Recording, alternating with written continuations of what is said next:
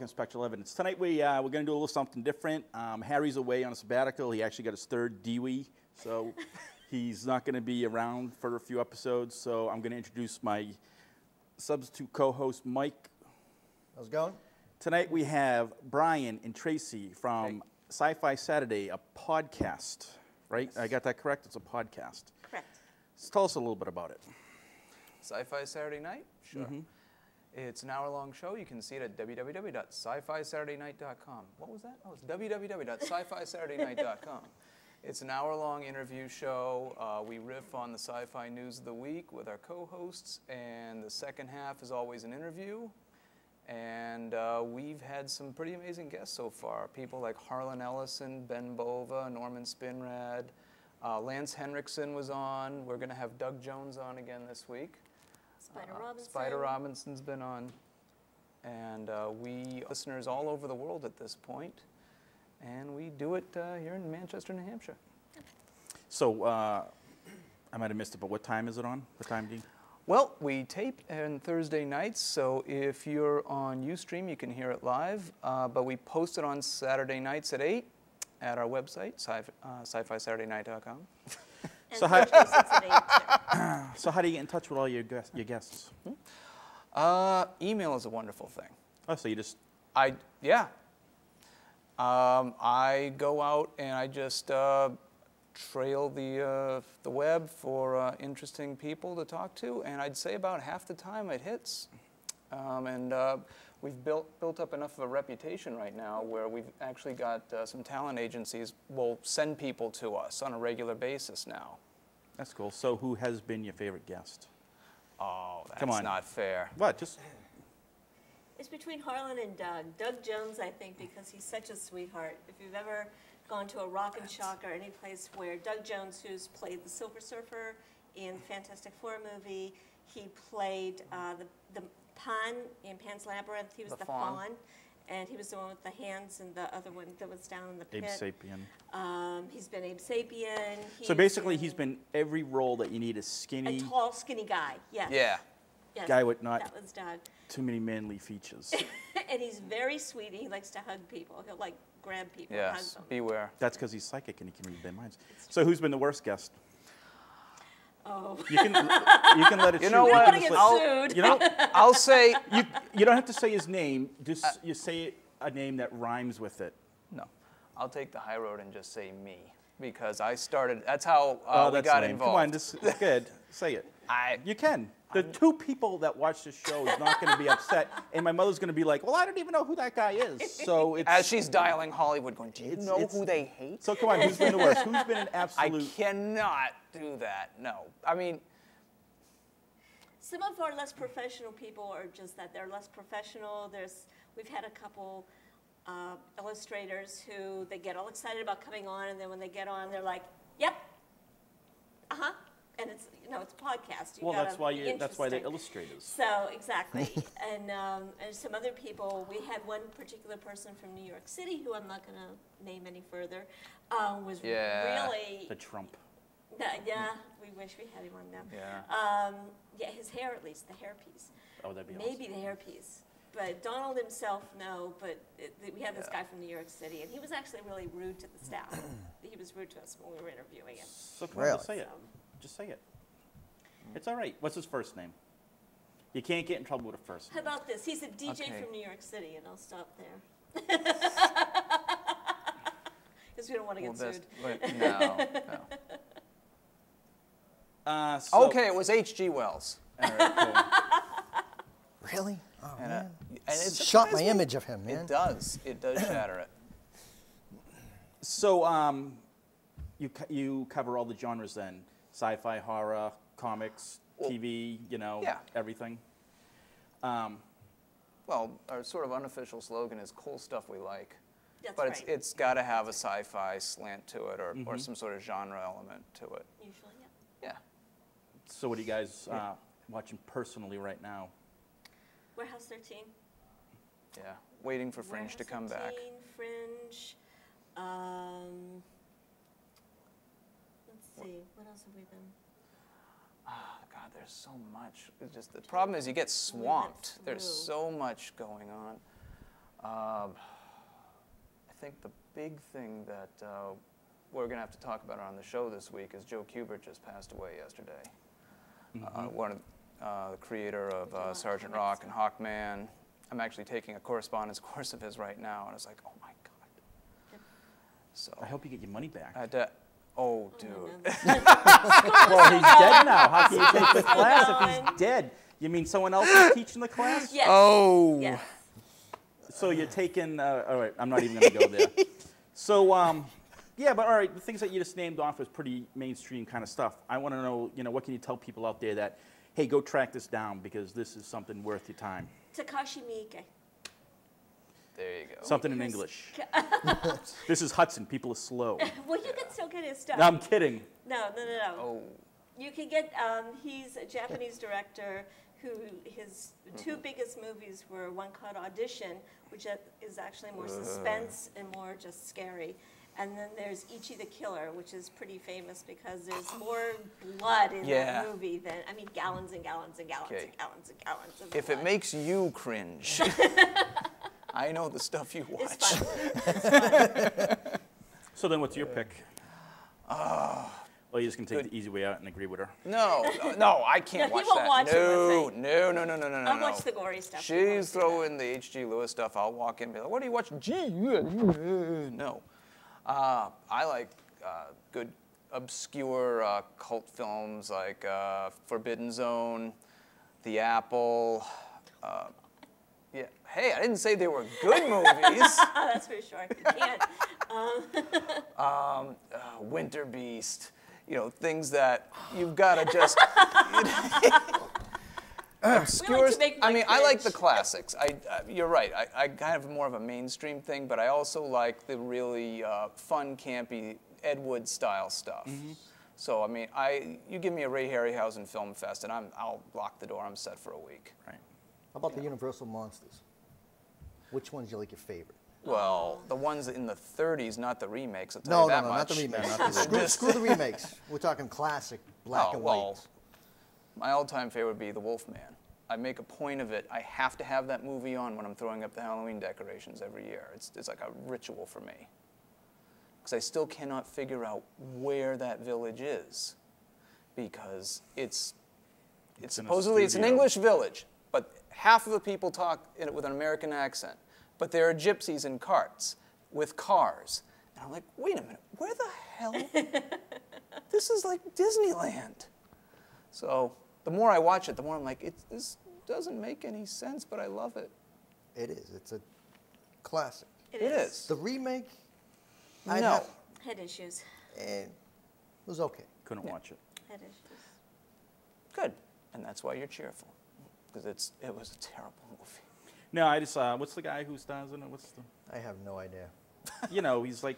Be- Benicio del Toro? I can't stand him. Yeah. See, Really? I can say I can say who I don't like. Yeah. Say it. Who is it? Benicio del Toro. No. we, come, I shall whisper it to you. Benicio. Save that for later. All right. Um, But I will have to give him one thing on that movie. The makeup for the, the Wolfman itself was great, but the storyline, Well, it's Rick Baker, right? yeah, Rick Baker. Yeah. The, but the storyline, it, it just, it wasn't the same. Yeah. It wasn't the same as the Well, you old. never feel quite as bad for him. You feel really bad for for Lon Chaney Jr. Well, yeah, that's Yeah. that's that's a beauty. But I mean, again, Really? it's that's the syndrome of Yeah. if you're gonna remake a movie that's already good to begin with, make it really good. Like John Carpenter's The Thing. The original Thing, I love. The Howard Hawks version, it's a great B movie. Mm-hmm. But the remake, I was like, wow. I'm like, okay, now that's how you do a remake. We're big fans of Carpenters. Yeah. At least the Oh, old they- Carpenter. they build a house. Yeah, yeah, Yeah. exactly. She can sing a mean song. She can't make a You know. sandwich, but she can sing a song. That's right. Is that why birds suddenly appear? Every time we are near? Okay, speaking of the thing, I, got, I got to get this off my chest. Okay. Um, I love Carpenter's version. Mm-hmm. Always have since the 80s. Okay. The prequel was Oh, great Didn't see it. on one condition that all the people out there think it's a remake. It's not a remake, it's a prequel. It's going back to the beginning, showing you how the thing got to Earth And if Okay. you pay attention to Carpenter's version, there's stuff in behind this, the uh, backgrounds. If you're looking in the backgrounds where they're walking through the sets and stuff, you're going to pick that up how it got there from the prequel, and it shows you. And people just Ah. don't get that. Uh, for like one, here's one for you. MacReady and the Doctor walking into the the Swedes' place. One of them has a duck on their head. yeah. no, uh, the Norwegian place. They go. Man they- walks on the by, he's got a duck on his head. Yeah, that's right. You know, Ah, ha, ha, ha. roll with it. Okay. Come on. They're paying us, right? He's paying you. Oh, all right. I'm just a fill-in. But anyway, they walk down and they see In where the thing was in the block of ice. Yeah. They show you the axe and door. Yeah. Well, in the prequel, they show you how that axe got to the door and all that little funky stuff there. So, Oh, cool. all you people that didn't like it can go to hell. So, I give it thumbs up. So that's going to come out. All you people can go. "Eh." Yeah.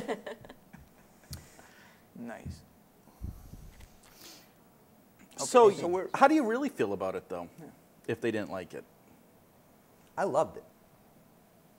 I loved it so much. I No, I, I just don't want you to bought it. hold those feelings in. I really want you just to express the way that you feel.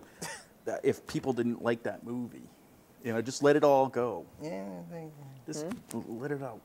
It's very therapeutic. No. Nah, I, I wouldn't want to say. All that. right. Okay. cool. I'm sure in 20 years they'll remake that one too. Yeah, I'm sure they will. All right. What about upcoming movies? You got anything you look forward to? I'm not sure at this point. What's coming out? Garbage. All right I was really, know, really I- unhappy with Dark Shadows. Me and the kids, you'd like we're me to get on that to- one, yeah, yeah. Oh. Thank you. I was, and I'm a, I was a devotee of the, of the original TV show. I'm pretty old, and I saw. Not only did I see it when I was a kid, we rewatched it when when Sci-Fi Channel was showing every single episode Oh, of Dark Shadows. 1,228 And we watched every single episodes. episode. And we really got hooked on it. It was Yeah. fun, you know, because when it was really good, it was amazing. Although when it was really bad, we'd be like, oh, the, the writers must have been on strike this week. But um, the remake just, Say it. it was blah. It sucked. It wasn't even Yeah. bad enough to suck, though. That's my problem. Is it wasn't. If it was going to go for really, really bad, it could have, and it could have been even fun, but it wasn't, and it wasn't good, and it wasn't bad. It was meh, and to me, that's the worst you, a movie can be is meh. Yeah. Well, come on. Tim Burton plus Johnny Depp equals suck. Mm, but he did Ed Wood. I love Ed Wood. I give Tim, Tim Burton did some all right things. Uh, one, Sleepy Hollow. That was a great one. I, I like liked it. Sleepy No. All right. I, I Oh. like Sleepy Hollow. I like too. Sleepy No, Hollow. You're like outvoted Sleepy on that one. No, the only good thing You know what I like? that mo- one, You know what I like best no. about Sleepy Hollow though? It's not the storyline. It's the it's the sets and the atmosphere that he did create. That's what I liked about yes. it. I, I could give I, I could care less about Johnny Depp as Ichabod Crane. Right. You know, although um, So it's best what's seen his with the face sound as off? what's his face as uh, the headless horseman though? Christopher Walken. Christopher Walken's. Come on, Yes. Psycho. Oh, yeah. I So- just like that movie. Be, if the, the thing I'll give it is that it brought back Christopher Lee. He hadn't done Yes. anything in ages, and then he, And now he's he in had that, and people suddenly were like, "Oh yeah, Christopher Lee's still alive. Yeah. Let's put him in the Star Wars movies. Let's get you know." Now he's everywhere. Yes, it's awesome. No, You should have him on the show he next week. What's that? You should have him on your show next oh, week. we'd love to. You got a mouse in your pocket. He's sitting here one day on the chair, and he's like, "Oh, we're gonna get him back here. Yeah, yeah. I'm get him on the horn and get him over here." Go. It's all right. Hey, you know, yeah, Christopher Lee is, you know, the king. Yeah, Yeah, those old Hammer movies, everything, you know, Great. you gotta love it. yeah. But all right, that was one Tim Burton, and, and I do like Nightmare Before Christmas. I'll, I'll admit, you know. Yeah. That You was know, the theme that- of our wedding. Yeah, anything with the, like that stop, uh, you know, animation. You know, the kids and I, we're looking forward to Paranormal, uh, Paranorman, How about Frankenweenie? and Weenie? And Frankie. Frank and Frankie's. Weenie, they're much better. Yeah, but you got to admit, there's nothing original in Hollywood anymore. Every I movie do you, admit that. you is coming out, it's either a remake or it's just a rehash of a movie that was already made before. I There's agree. nothing. Oh, I don't know. Well, that's with original horror movies. This one's a little older now, though, but there's a movie out of New Zealand called Black Sheep, and that was one of the last. yeah. That's one of the last really Oh, good, man. fun horror movies that, That I've was, seen. yeah. About giant Oh, mutant Oh my God. cannibalistic sheep. It's awesome. Yeah. and they got the guys from Lord of the Rings to actually do Mm. the animatronics in it. See, I heard it was bad. Oh, Oh boy. that, it's a really fun movie. If you haven't seen that one, track that one down. Black sheep, huh? Black, Black Sheep. Sheep. Oh, blood sucking freaks. No. No, no, no, no, no, no. I hate that movie. Ugh. Why? For shock value and you know just. It's you know what it is. It's Wait the a whole second. cutting off of the ballerina's feet. That bothered me like I can't even tell you. The scariest thing in that movie is the midget with the afro. I don't. I don't know that one. you do. All right, let's skip to the chase. We got a bunch of stuff here on the table. All right. Well, all right. Let, well, I was going to get to that. Okay. You know, uh, you know, the movie tie-ins. You know, you actually have a bit of a claim to fame for movies, and let's hear it. Let's talk about it. When I was in college, um, Oh yeah, keep going. I know it was a you long had time this, ago. You had this roommate, right? No, no, and no, she no, was no, like, no, no. "Ah, you know, no, no, no. When I was in college, I've I was actually dating this guy. Yeah. I know my husband doesn't like to hear that. I was dating this guy, and I thought it would be a really great present because I heard George Romero was going to be coming in to make another zombie film. And I actually wrote him a letter because their offices were in Pittsburgh. In Pennsylvania, just in case anybody's watching from New Hampshire. all right, Pittsburgh, Hudson's the real that dumb. Pittsburgh. And um, I wrote him a letter and I said, we'd really like to take you out to dinner. I think it would be a very, it, it would be great. It, we would be honored if you would let us do that. And instead, and I still have it, he sent me a two page letter and he said, We're going to be too busy, but if you call this number and ask for these people, I will get you roles in, you, you guys can be zombies in the next movie. So, needless to say, I did that um, as soon as I could, which was really funny because I found out that we got accepted right after I had had some wisdom teeth pulled, so my mouth was already kind of swollen. And I thought, oh, I'm perfect into the role. And we got to be extras in Day of the Dead and got down there and spent the whole day. We had to be there at 5.30 in the morning. We didn't leave till 7 o'clock at night. Um, I actually got to be on screen um, excuse me, and my arms in a couple books that we have. I brought some of the Are they still attached to you? Yes, they're still attached to me, but the guy's head that we were grabbing wasn't. So there's a scene in the movie where um, the Taso. actor, actor Taso comes running around and he falls on these pallets. And as he falls back from the pallets, the zombies go after him. They pull his head off and walk off with his head. And I was up in the corner. We actually grabbed onto the fake head as, and I really felt bad for the actor because they had built it up. They, we did the scene where we started to grab his throat and they had built it up and they had Savini come over and he literally had to lay flat with his head like under him for a good hour and they had to put oxygen on him and everything because he couldn't breathe but then they had the fake head so that we could grab it. And if you listen really closely i actually got my fingernail stuck under one of the, the bits where they use the, the special cording to make it look like the neck's falling apart and it ripped my fingernail Ow. Oh. so I screamed. I think I'm a zombie. I could scream, so I screamed. And then that was our big claim to fame. But the most important thing out of that whole story was zombies like a little head, There you go. and that's going to be There edited out. no, but that's awesome. That's awesome. It, it, it's cool when you know you admire somebody and you get to have that little bit of, you know, who, who doesn't love Romero? If you if you're in horror movies, Right. you got to, you know, you got to respect what he's done. I mean, he's the one that's created it. In you know? Pittsburgh, it's kind of a, a right of honor to have been one of the Romero zombies. So, and this, this is what we got. We got our hats, and we got one dollar, and that's what everybody got for being a zombie. Did you frame the dollar? I, did, I, I had it for a long time. I think it's in a scrapbook somewhere. I was an extra in Day, in Day of the Dead. I was a zombie. See, that just shows you how old that movie is too. Because Painter's Oh. Uh, Cap. When was the last time No you saw kidding. Painter's Caps like that, huh? Hey, you want Yeah, guys want to go check out Def Leppard after this? exactly. Exactly. And what year was that? It came out. It came out in '86. We did the movie in '85, It came out in 86.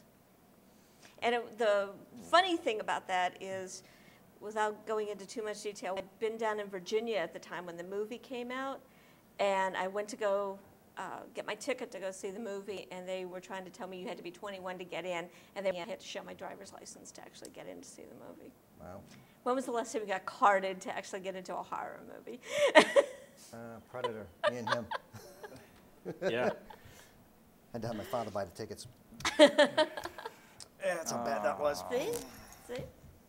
And what So year yeah, was was that? around that. That let's see, we graduated in '89. That was 87. 87.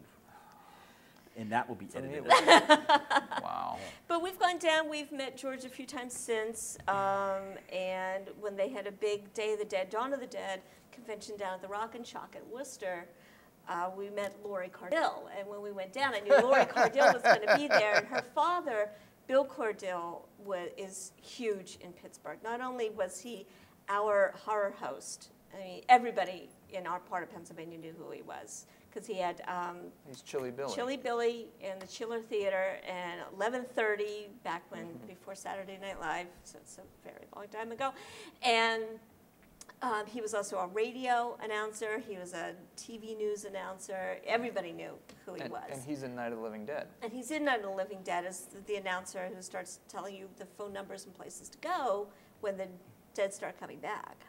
The original Night of the Living Dead. Yeah. Correct. The black and white. 1968. Correct. Okay. Black and white one. Not the 90s version. Yeah. So we went down, and I had a T-shirt that my mom had actually found with me for, for me with Chilly Billy's face on it. And we went to the Rock and Shock, and Lori just was so excited. And she called her father on the Oh phone. my and was like, "This girl has your face on her chest." and I don't know if you're going to keep that one in or not. But Oh yeah, that's tame. then- Watch. Listen to what I'm going to say right now. and, and I, so I talked to him for a couple minutes, and since then, No, no, no. You turned into a three-year-old girl first because she hands the phone to you, Oh, I and mean, you're who like, though, really? you're like, you know, oh hi, Miss Cardille. Yes, I was in the film too. It's like, and here's my father. Hi, Mr. Cardille. oh, shut up. It's an honor to speak to you, Oh, sir. see, I would have got all giddy. See, So we've actually kind of become friends with Lori. When we go back to Pittsburgh, um, well, we don't go back very much anymore, but If we can well, help it, yeah. we used to go back to Pittsburgh, we'd actually go and see Lori and have lunch with her or something. So. Cool. Oh, the McDonald's. So afterwards. Oh, wait, we can't- Yeah, we can't mention McDonald's. we can't mention it. Okay. So we went to a fast food place that has yellow arches. Kinda McDonald's, you mean? s- Yeah. well, no. See, you guys won't tell me names, so I'm just going to. So go ahead. But, but I actually have some of the pictures of it. We, I mean, because we were starving, but we thought, oh, it'll be really fun to leave our makeup on. So we went to a local McDonald's and just freaked everybody out there. And one of our friends, who- there were three of us who went. The guy I was dating at the time, and his roommate. And what was his name? his name was Brett. What was it? Brett. Brett. Mhm. Brett Michaels. Brett. Brett. it was the 1980s, and his name was Brett. and his roommate Tim. And Tim was like about six foot 4 and who's now a newscaster down in West Virginia somewhere, Morgantown, West Virginia. And so we went into this McDonald's and we were causing general mayhem because we had all our makeup on and uh, we actually were. There we are were trying to children find still in therapy to this Yes. day. Actually, there was an Yeah. older woman that. who's still in therapy because we scared her out of the McDonald's. Um, and we tried to think of places where we could go to scare people with our makeup on. And at one time, we were up at a red light, and there's this poor guy, loosened up tie, had his suit on and everything. We pull up to the red light, and he just kind of looks over at us. And we started waving at him through the window of the car, and he just grabbed onto the wheel. It turned green, and, and he wouldn't go. He wouldn't look over at us. He wouldn't go. We're thinking, oh, I wonder how many he had before he got in the car. But and then we ended up leaving. Um, we scared some girls at a Mad- Madonna concert that was in Pittsburgh. We started yelling stuff out the window, and they showed, they saw us, and we're like, ah, and ran from the car Good for you. uh, walked around a mall, and actually one of the police officers, the mall security that was there, was kind of like, Oh, "You yeah, guys are from the movie, aren't you?" So they'd had other people, I guess, No. that were walking through, were like, "Yeah, no, we're actually going to eat your brains now," but, you know, so that was fun. Nice. Went around campus scaring people. And what have you done with your life? Uh, nothing. I'm a hanger-on. just, just a leech. He married really. me for my, my stardom. Well, no, that actually it was a tie-in because on, on our first date, uh, we went back to your place. You know, hey. Did you make a movie? uh, made a move?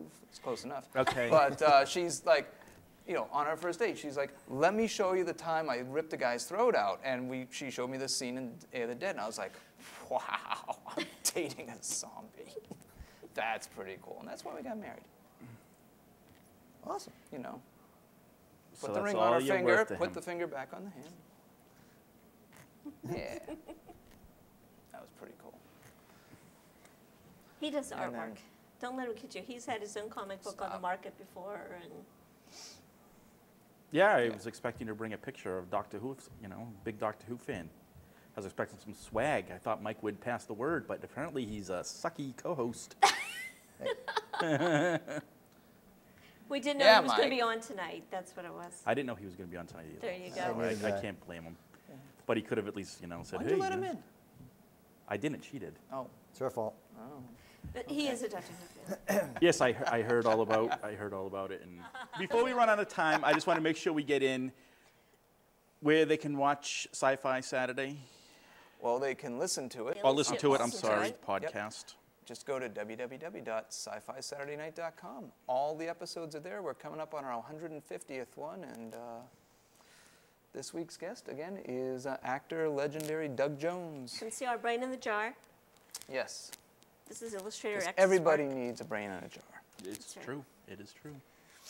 Yep, we've had Now- um, the two ladies from Holliston, which is um, Cinemax, Showtime, No, FearNet. FearNet series.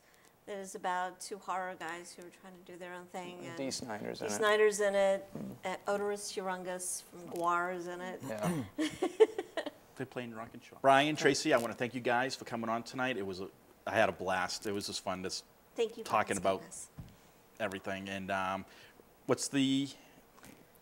Sci-fi-saturday-night.com. I think. Say it again. and we're on Facebook. Visit our page and uh, vote yes. in the reel every week. Come like our, our Facebook page and vote in the poll. We change the poll a week. And we have sci-fi questions, and we have horror questions, and comic book questions. Nerdy questions. and Anything? uh, oh, oh, what? and we are all Boston Comic Con because we're Boston Comic Con, That's right. Granite Con, and of ComicArtHouse.com. Wow, see, I'm. I'm, I'm a loser. Visit Bob and Kim at ComicArtHouse.com for all your comic book art needs. I have a rash I could show you.